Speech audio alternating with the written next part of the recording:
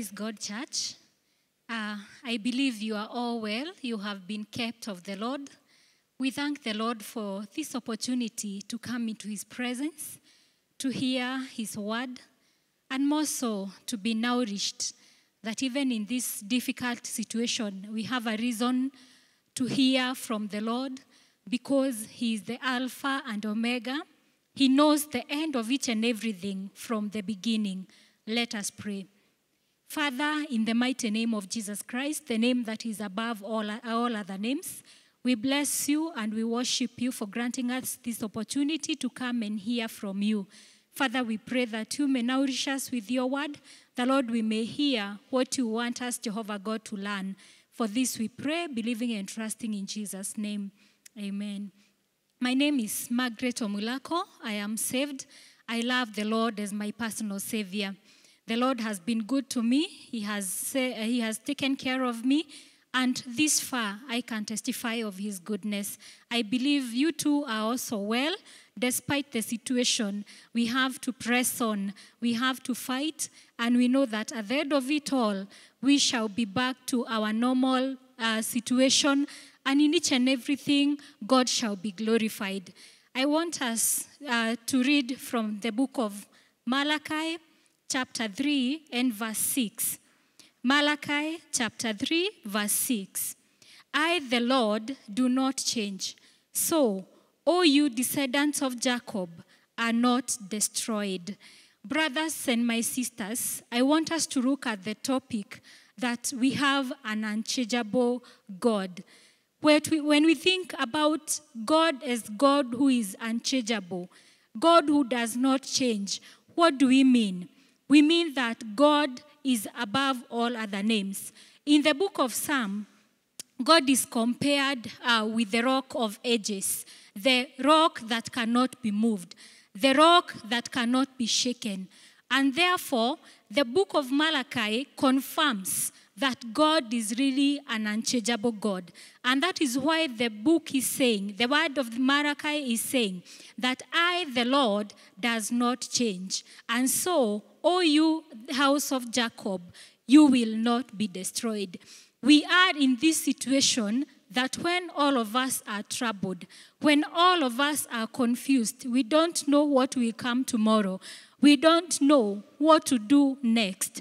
But this morning, uh, this morning, I want to remind each and every one of us that despite the situation that we are in, God changes not. And remember, as we think of as God as an unchanging God, we can give so many examples of God who does not change. Remember, He does not change in His character.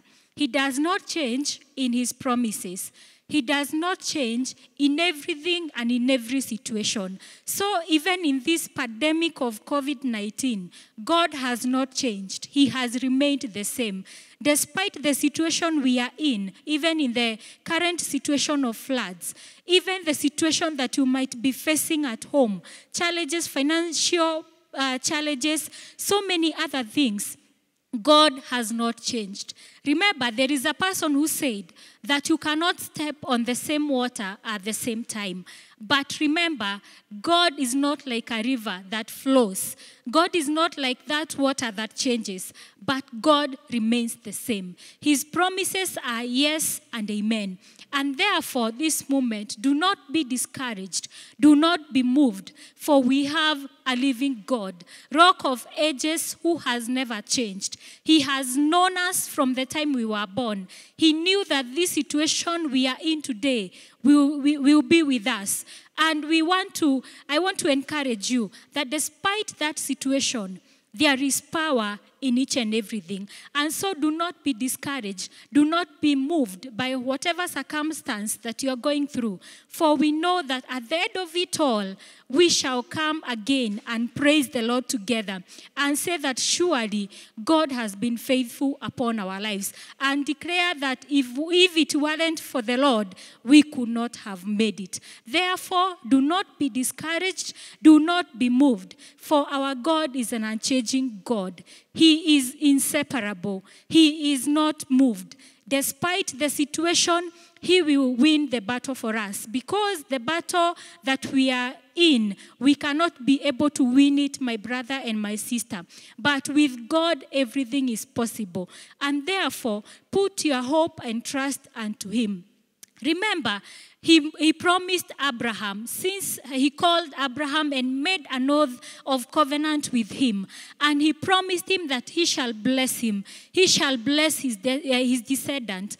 And remember, from Abraham, the people of Israel, with all the uh, calamities they faced, with all the challenges they had when they were moving from Egypt, God never left them because God is a promise keeper. He remembered the oath that he made with, uh, with his servant Abraham, and he promised him that I shall bless you and I shall bless your descendant. And therefore, the same God who was faithful at the time of uh, Israelites is still the same God today. And remember, his promises changes not.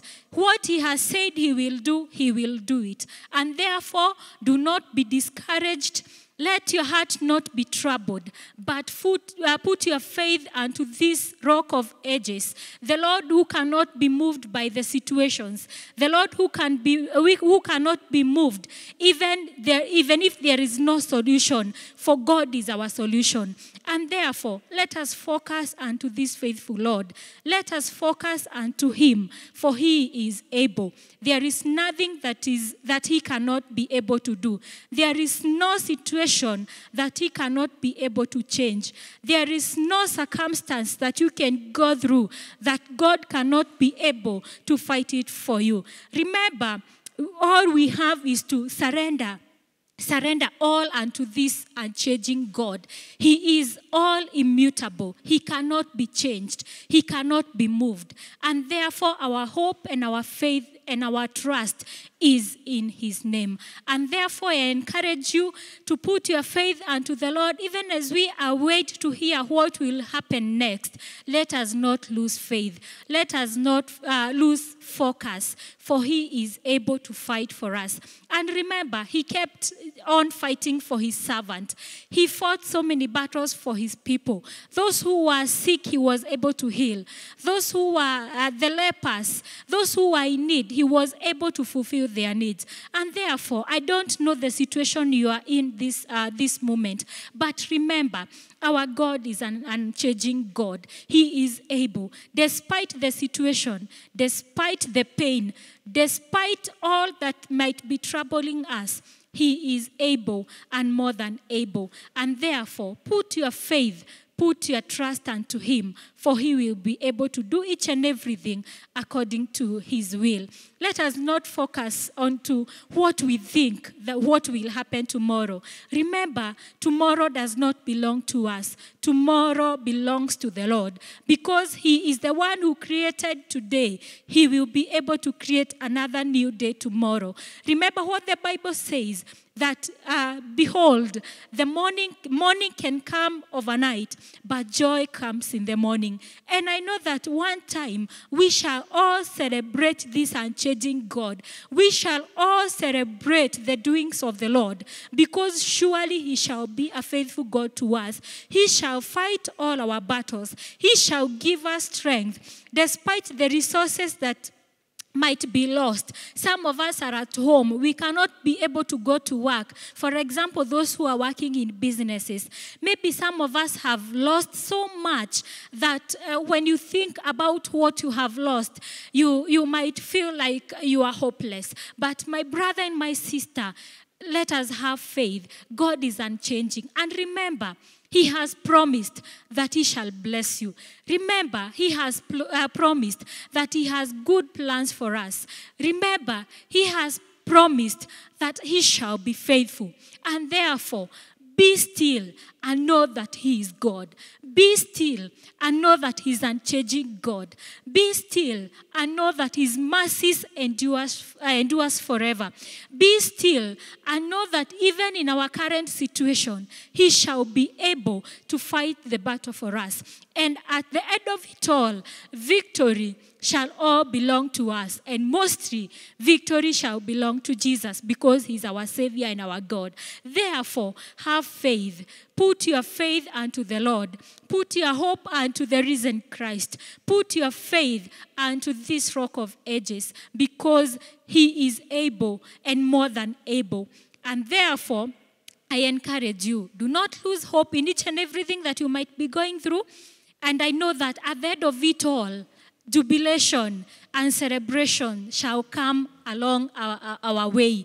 And therefore, we shall be able to testify the goodness of the Lord. Do not be discouraged, do not be moved. Let us keep on keeping on, for we have a God who is unchangeable God, who is almighty and sovereign, and He's able to do each and everything according to His will. Therefore, brethren, I pray that may this Lord strengthen you.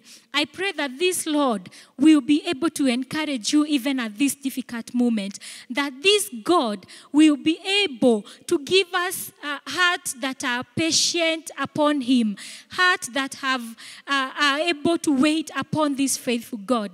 Because sometimes the things that are coming along our way, we might feel like we are we don't want to see tomorrow. But I pray that this God will strengthen you. I pray that this unchangeable God will be able to give you strength because what he promised the people of Israel through uh, prophet Malachi that remember you are the house you are the household and I am your uh, uh, you are the household of Jacob and I am your God and therefore you shall not be destroyed because I am an unchanging God. And therefore, this moment, you will not die. You will not lose faith. You will not lose focus.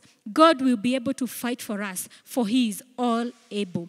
And we pray that Jehovah, He shall continue to strengthen you and give you peace and restore everything uh, that has been taken away from us. And let us pray. Father, we thank you and we worship you for your word. That, Lord, even reminding us that you are unchangeable God, we pray that you shall be able to help us to wait upon you as we uh, continue, Jehovah God, focusing on you because you are the rock of ages, you are unmovable God. Therefore, we pray for peace even at this difficult moment.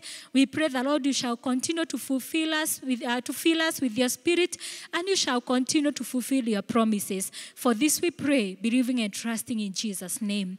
Amen.